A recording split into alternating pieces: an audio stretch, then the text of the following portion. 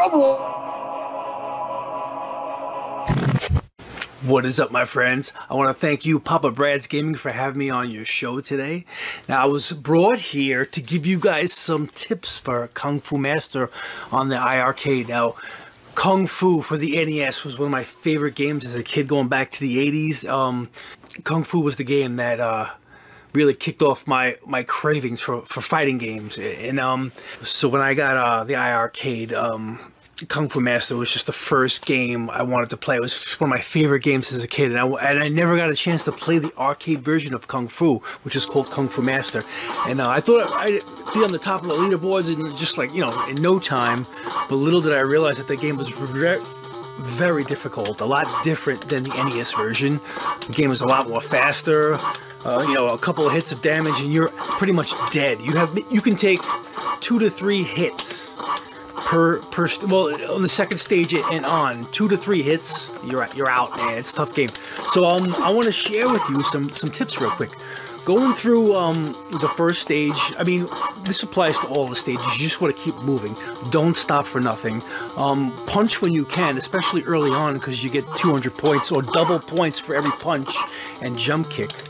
And um what I try not to do is jump kick uh, throughout the levels. I'll, I'll save my jump kicks for the bosses because uh, the jump kicks do a lot of damage. So I like to uh, do a lead jump kick and then follow up with punches and kicks, you know, knock out the bosses. The second stage is a, um, a stage where you want to take your time because um, I mean it's just gonna be non-stop jugs of snakes and, those explosive balls and the dragons. So tippy toe your way.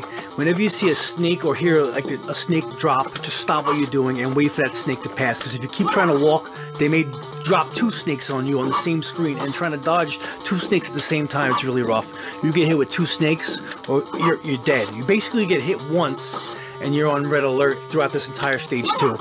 And um, you know, you, when you get to the last boss, you just want to dodge those boomerangs. Think of him as one of the knife throwers. You just gotta watch carefully and, and, do your evasive maneuvers to get in on him and, and take him out quickly. And uh, when I when I when I get up to the, the last boss on uh, stage three, I lead with a jump kick and follow up with some punches. And before you know it, within seconds, he's dead.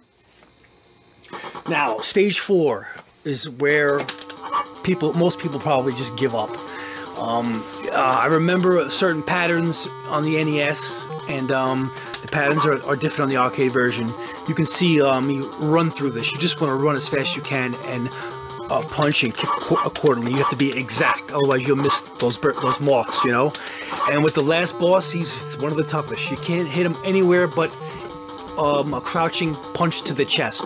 You just want to um, bum rush him and, and dodge his, his, his magical throws. He's really tough. I mean, I, I, I can't tell you exactly what to do. You just got to be quick, and you can only punch him in the chest. If you can trap him to um, if you can trap him at the at the um by the staircase, he won't be able to move anymore, and you can just finish him off in a crouching position and not get hit. But um, one one or two hits and, and you're done with him. You're done, man. It's really tough. and the last stage, um, it's hard, man. It's severely tough to get to the um, final boss. Um, in, on the NES version, he, they, we called him uh, Mr. X, and uh, on this on the arcade version, he's just called the enemy. Or you fight the enemy in, in the, well, the, the demons the demon's lair. I think that's where you fight them on the fifth floor. The knife throwers throw them a lot quicker on stage five. Um, you're gonna get a lot of uh, flip flip attacks by the little dwarf guys and um, when you finally make it to the last boss, I mean, it's a crapshoot. You want to try and get there with as much life as you can, and um, mix it up. You jump kicks, um, regular uh, regular kicks, and low kicks. Mix it all up, and eventually you'll wear him down. And just keep firing with uh, different types of attacks. If you keep doing the same attack, he's gonna lock it on you. Just keep mixing it up, jumping up and down. You know, drop jump kicks, regular kicks, low kicks, up and down, and eventually you'll get him, man. It's it's a tough game, and um yeah, man, I, I, just love the game, and I'm gonna still strive to try and beat my my high score. It never ends with high score games, and uh, I'm always trying to uh, to beat my previous score. But it's a great game, and if you guys have never played Kung Fu Master, what are you waiting for? It's great on the iiRcade, a true uh, challenge if you want, you know, try and beat um, really tough arcade game. One of my favorites. And again, uh, thank you, Papa Brads, for having me on. It was a, ple a pleasure. Um, I hope maybe uh, these tips could have helped you guys out. And I thank you guys all for watching. Peace.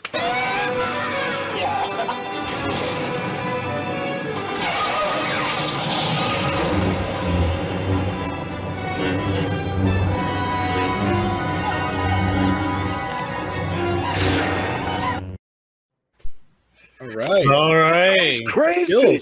Skills. He was kicking kids. he was kicking children. Is he an orphanage or something? What, what is going on? They trying to stop him. That's Man. crazy.